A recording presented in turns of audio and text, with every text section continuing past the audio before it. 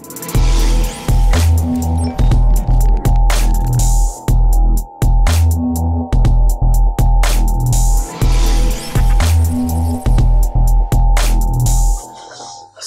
warahmatullahi wabarakatuh. Welcome back to my channel. Oke guys, kembali lagi bersama saya Arafa di GTR channel. Sorry, kesedek. Nah, kali ini saya akan unboxing barang lagi guys. Setelah minggu kemarin saya udah unboxing barang Yaitu Lazy Pot uh, Jadi saya nggak jadi taruh di depan guys. Saya taruhnya di belakang soalnya lebih kelihatan bau. Saya kotor banget Nah, kali saya akan sebuah unboxing sebuah barang guys Yaitu mouse gaming dari SteelSeries Dengan tipe Rival 110 ini adalah barangnya guys. Kalian bisa lihat. Kelihatan nggak? Nah mantap. Saya fokus ini ini, ah, ini ada barangnya. Ah, ini harganya sekitar 550.000 guys. Tapi udah bonus mousepad small dari SteelSeries juga.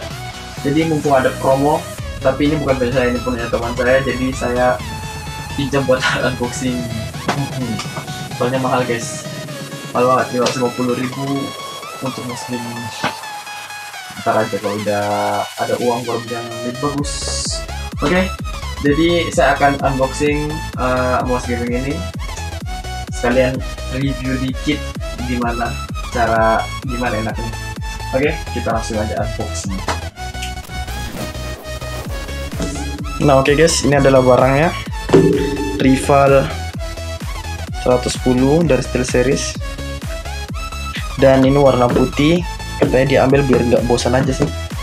Bukan buat dia juga katanya bu. Katanya ini untuk adiknya. Oke guys kita langsung aja unboxing barangnya. Dari bawah aja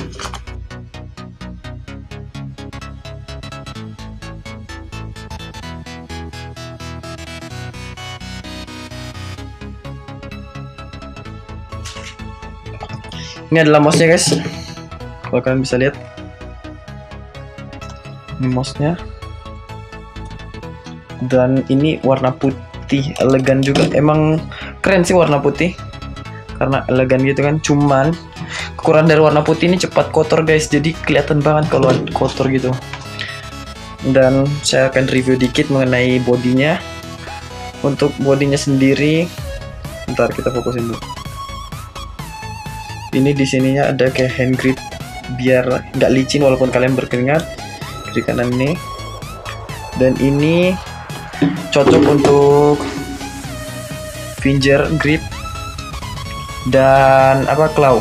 Kalau untuk palm sendiri kalau tangannya yang kecil itu cocok tapi kalau untuk tangan-tangan panjang guys ini nggak cocok kayaknya guys. Nah lebih kan?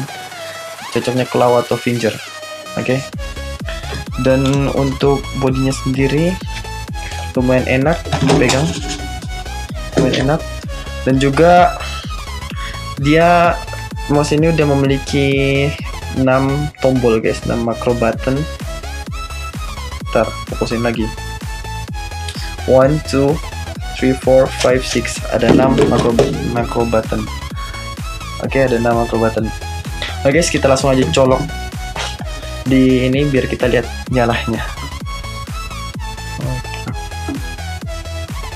Bentar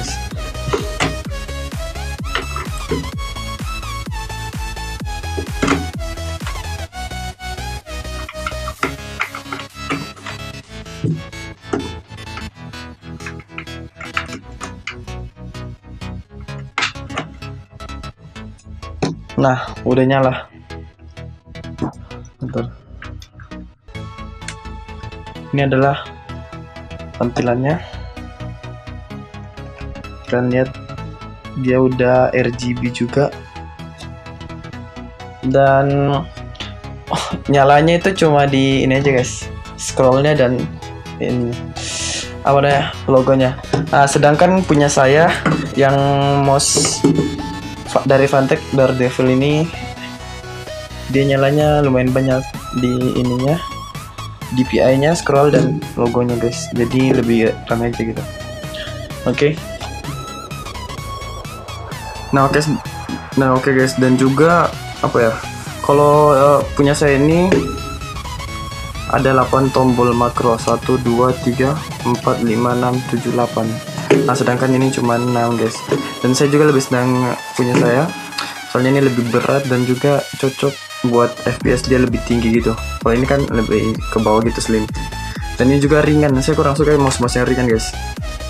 Tapi ini untuk desainnya sendiri udah bagus dan kalau kalian pengen atur DPI nya kalian bisa setting di dalam apa monitor atau aplikasinya sendiri. Dan juga apa ya ini DPI nya tuh sampai 7200 ada tadi dosnya ini. Uh, DPI sini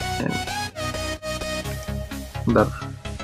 Masnya nggak fokus. Ah itu GPI oke okay, jadi mungkin itu saja Nah, oke okay guys, mungkin cukup sekian uh, unboxing kali ini dan sorry kalau reviewnya kurang lengkap soalnya saya kurang bisa untuk nge-review barang tahunnya masih doh. Nah, gimana guys? Kalian tertarik untuk membeli mouse ini seharga 500 ribu tapi udah bagus. Mousepad nih.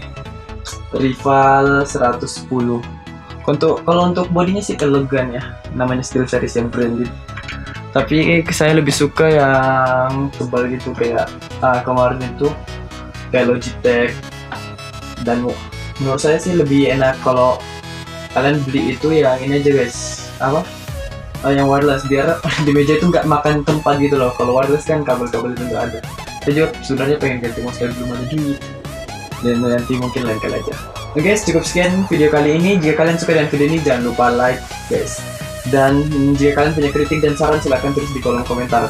Oke, sampai jumpa di next video. See you. Bye.